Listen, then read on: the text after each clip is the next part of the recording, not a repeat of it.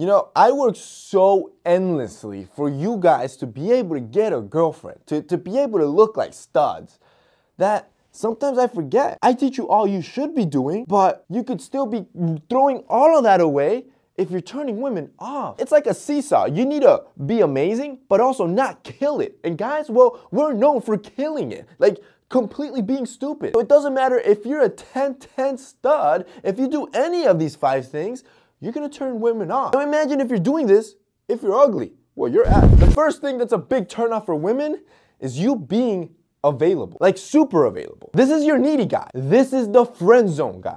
Don't be that dude. If you're the guy that's always available for this girl, She's not gonna want you. People want things they cannot have. And even if you are super available and you have nothing going for you, you don't wanna let her know that. You wanna act as important as possible. So join clubs at school, start hanging out with friends, join a sports team, join a book club, find a job, do whatever you need to do to fill up your schedule or at least make it seem like you're filling up your schedule. So this girl thinks that you're on limited time and the little time you have, you are blessing her with. Yeah. The fastest way to turn off a girl is if your tent pole, well, it ain't setting up camp. And the problem is that so many guys don't talk about this, but the reality is it's more common than you think. So common that around 52% of men will experience it at least once in their life. And the problem is that the first time you do experience it, you're gonna freak out so much that is going to keep up happening and happening and happening again. And, and, the root causes, it could be anything. It could be tiredness. It could be anxiety, performance anxiety. It could be stress. Or an obvious one like lack of testosterone. Erectile dysfunction is a common occurrence among men. Like I said, about half of them. And it's something that should definitely not be left unchecked because if you do, it's just going to have a compound effect. That's why our sponsor Roman comes in to save the day. Roman is a one-stop shop and a legit lifesaver for us dudes where licensed physicians can diagnose ED to you over the phone or over the computer and ship your medication right to your door. What does this mean for us dudes? Well, no more awkward visits with your physician and talking about, well, why your guy's not working. Or even worse,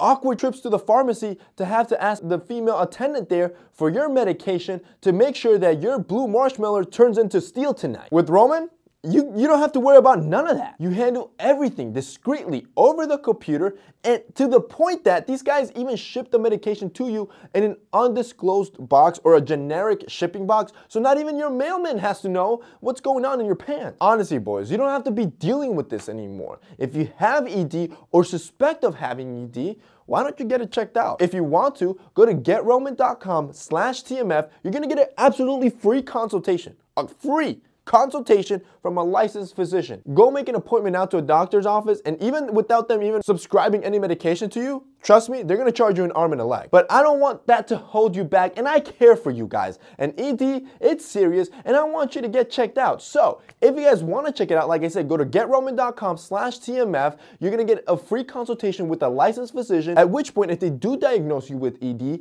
they will ship to you FDA-approved ED medication right to your door so you can handle the problem at its root cause. The third biggest turnoff for women machismo. You see, men confuse this all the time because being masculine, that's a massive turn on. Women, they'll stick to you like gum. But on the complete extreme, you got machismo or exaggerated masculinity, at which point most girls will leave you single, like a Pringle, my friends. And this is usually the guy that can't handle a woman's success, expects her only to cook or clean or do laundry and just wash the dishes. Or the dude that's super manipulative and controlling or overly jealous. Like you don't let her have any friends or go out at all. If this is you, these are clear signs that you have severe machismo issues. Most girls can sniff this a mile away and trust me, they're gonna run the other way. Number four, guys with no purpose. A guy that has no value, no drive, no passion.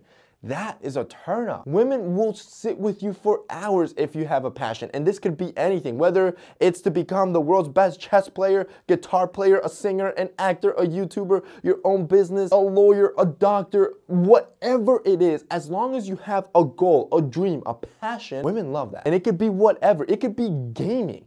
But when girls hear you speaking with passion and something that you have drive about, that you have goals, that you have aspirations, that's a guy that any girl would want to be with because that's a guy that has vision and know where he's going. Versus the lazy dude that literally just goes home and does nothing, has no idea what he's doing with his life, is majoring in liberal arts because, well, he doesn't know what type of major he wants. And at which point he's even barely passing his classes. Oh, and he also doesn't have a job. Finally, the fifth biggest turnoff for women you eyeing other women. I mean, come, come on, guys. We're not dogs. You gotta be pros at this. And, and it's not like you're gonna ignore all the other beautiful women in the room. My friends, it's called peripheral vision. Don't be a dog and just stare and be overly flirtatious with other women when you got the girl that you like right in front of you or your girlfriend at the time. Women, they want to feel respected and as if they're the only girl you have eyes for. So at least respect them enough to pretend that you don't notice the other women.